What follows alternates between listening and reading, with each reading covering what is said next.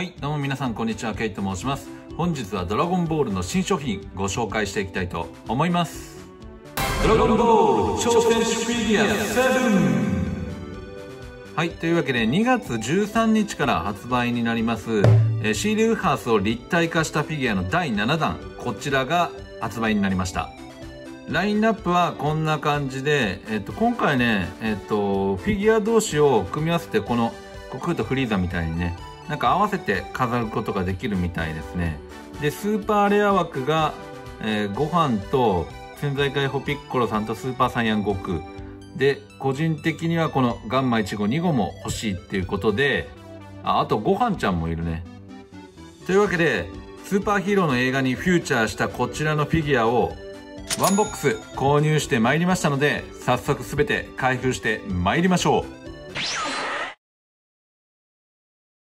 というわけで記念すべき、え1パック目開封していきましょう。ちなみにね、これ1個、えーっと、400円ぐらいだったかな？あ、もう見えてるね、これ。フリーザ様。最初のフィギュアはフリーザ。こちらを組み立てていきましょうか。はい、というわけでフィギュア開封してまいりました。フリーザ様ちょっと宙に浮いてるような感じのデザインになっておりますね。台座は多分ナメック製の岩を造形してるような感じで、このうねってるのがフリーザのオーラになってるのかな。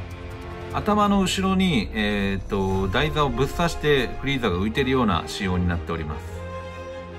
1個400円でそこそこ値段がするんですけれども、その代わりといってはなんですが、フィギュア自体のクオリティは高いですね。造形も細かいんじゃないでしょうか。高さをちょっと変えてみました。こうするとフリーザの顔がよく見えますね。いや、これ、あ、でも浮いてるような感じじゃないんで、一応立ってるようになってるんだけど、足元がちょっと狭いからね、それで頭にぶっ刺して宙に浮いてるような感じで造形してるんじゃないでしょうか。台座はね、こんな感じですね。台座もね、これクリアパーツとかじゃなくて、色がついてると、よりいいんだけどそうなってくると500円とかになっちゃうのかないやいいんじゃないでしょうか塗装のねはみ出しとかもなくグラデーションとかはねないんですけれどもいい感じでデフォルメされてるフィギュアが仕上がっておりますというわけで続いてはパッケージ違いデザイン違いのこちらですね。あこんな感じで悟空とフリーザを飾ってくださいっていうことかな。では、えー2箱目開封していきましょう。続いてのフィギュア1こちらおガンマ2号ですね。はいというわけで開封してまいりました。いやガンマもねかなり造形がしっかりと作られていて、まあ、そもそもがねちょっとデフォルメに向いてるようなキャラクターですのでかなりよく仕上がってるんじゃないでしょうか後ろのマントはこんな感じでなびいてるような仕様になっておりますねガンマ2号の台座は、まあ、ガンマ1号2号2人ともね、2号だけかな。戦ってる時に出てくるようなエフェクトを表現しているんだと思います。正面から見てみるとこんな感じ。いや、ほんとね、今回っていうか、年を重ねるごとにシリーズが重なっていくごとに塗装が良くなってる気がしますね。昔ここまで塗装綺麗じゃなかったと思うんだけど、まあ、そもそも値段が確か300円ぐらいだったような気がするんですが。ただ1点レッドリボン軍のマークのところは赤いマークが入ってるだけでさすがに、えー R&R だっけ？レッドリボン軍の文字は入ってないみたいですねでは続いて開封していきましょう。もうこのアングルでいくか。いきます。続いてのフィギュアはこちら。あなんだこれ。あ、かぶりですね。今回ワンボックスえっ、とね12個入りかな。でラインナップが、えー、と10種類か。なのでおそらくコンプリートできると思います。おやった。ガンマ1号これで1号2号が揃いましたね。私こそがスーパーヒーローだ。ガンマ1号もこのマントの造形がかなり個人的には気に入っております。このサイズでさここまで躍動感を出して造形してくれるのはかなりいいポイントだと思いますね。後ろから見てみると ちょっとね頭がウルトラマンセブンみたいになってるんでチープな感じですがこのマントがやっぱいいね。ちゃんと腰のところにはガンマ銃が、えー1号もついてますね。さっきの2号もついてたかな。おそらくついてると思います。はいこんな感じで皆さんはガンマ1号2号どちらが好きですか？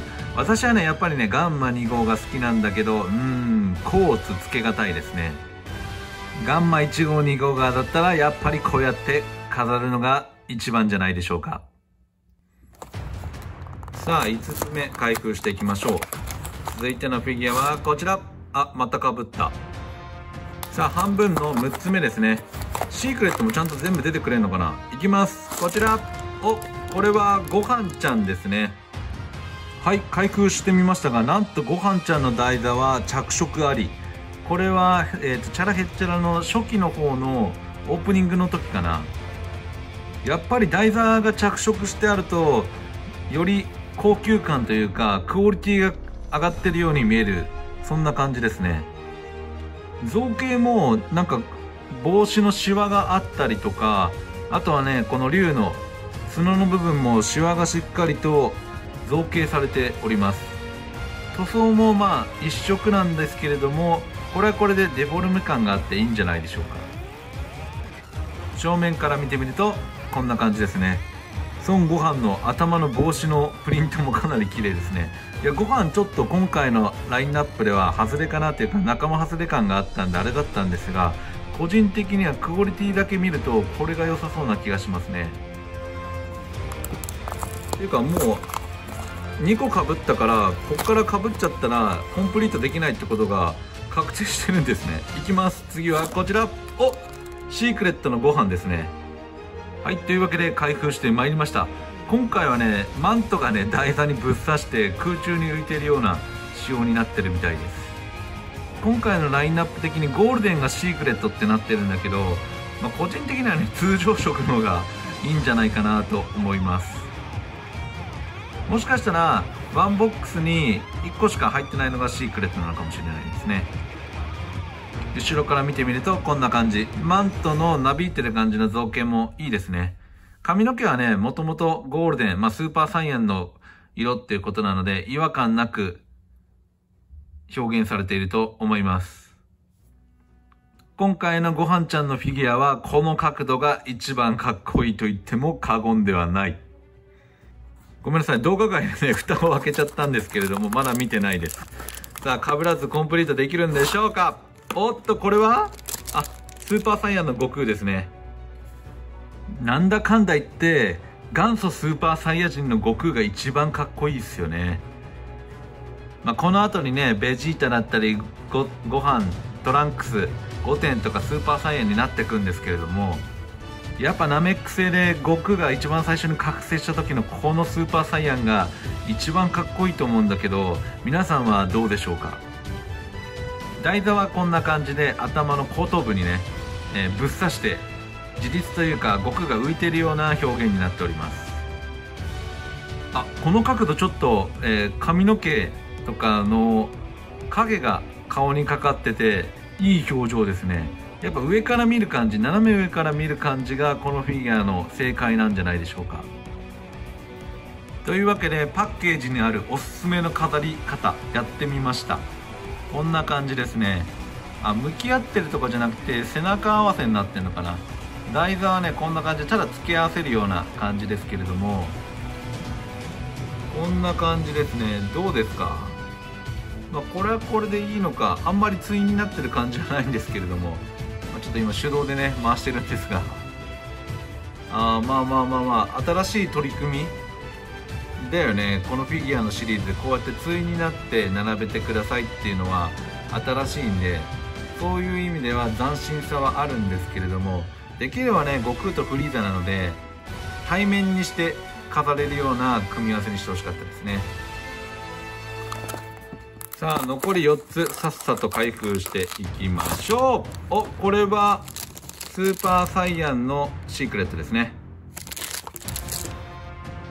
はい。というわけで通常色と一緒に並べてみました。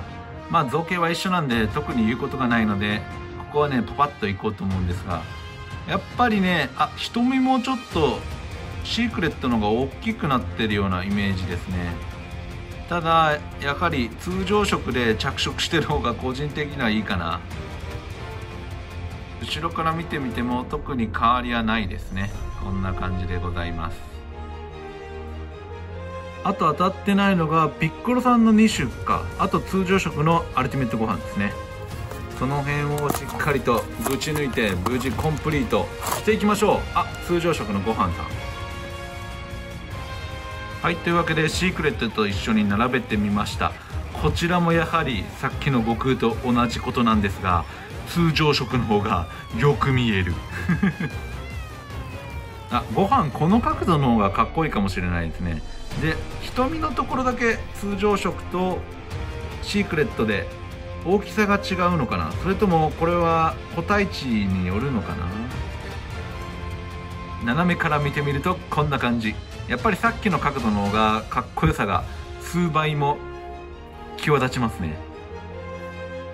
こんな感じで対に並べてもそれなりに絵になっているのかもしれません。では最後2ついっぺんに開けていきましょうか。おそらく事故がなければ両方とも、えーと、ピッコロさんになってるはずです。いきましょう。まずこっちから。ピッコロさん。そしてこっちがシークレットのピッコロさんん？シークレットだよねはい、というわけで最後のピッコロさん回復してまいりました。一瞬さ、頭の色がさ、似てるから、あれ？通常色被った？と思ったけど、さすがにそんなことはなかったですね。ピッコロさんに関しては、ワンチャンシークレットの方でも、なんかかっこよさが出てるんじゃないかな。色の問題かな、元々の。台座はスーパーサイヤンの悟空と同じように後頭部にぶっ刺して自立させるタイプです。斜めから見てみるとこんな感じ。どうですか？通常色はもちろんまあ見慣れてるしいいなと思うんだけどこのねシークレットなんでだろうな？このピッコロさんだけこのゴールデン一色っていうのもありなんじゃないかなと思えてきてます爪のところとかが黒に着色されてるっていうのがいいところなのかな？はいというわけでご飯とピッコロさんついに並べてみました。いやーこれがやっぱりね一番今回のやりたかったことの一つでもあります。斜めからご飯が一番かっこいい角度に持っていくとこんな感じですね。あピッコロさんもこうなるといい感じに正面向いててピッコロさんもこの角度が一番かっこいいと言えるんじゃないでしょうか。反対に持っていくとどうでしょうか。うんこうなってくるとねちょっとねご飯がね間抜けな顔に見えてくるんですけどもそれはなぜでしょうか？こうやって入れ替えてシークレットと通常色って感じで並べてあげてもなかなかいいですね。やっぱりピッコロさんはこのゴールデンいい気がするな。はいというわけで本日は超戦士フィギュア7を開封してまいりました。種類が10種類もあったんでちょっと多めだったんですけれどもワンボックス12箱買うことによって全てコンプリートすることができました。個人的にはもうガンマ1号2号は大好きなので良かったんですがご飯ことピッコロこの対になってる感じで並べられるのもまたいいしちょっと今隠れちゃってるけどここにいるねえっ、ー、とご飯。ご飯だけ台座がねカラーでついてるってことで個人的にはかなり良かったんじゃないかなと思います。はい本日もご視聴ありがとうございました。また次回の動画でお会いしましょう。バイバーイ。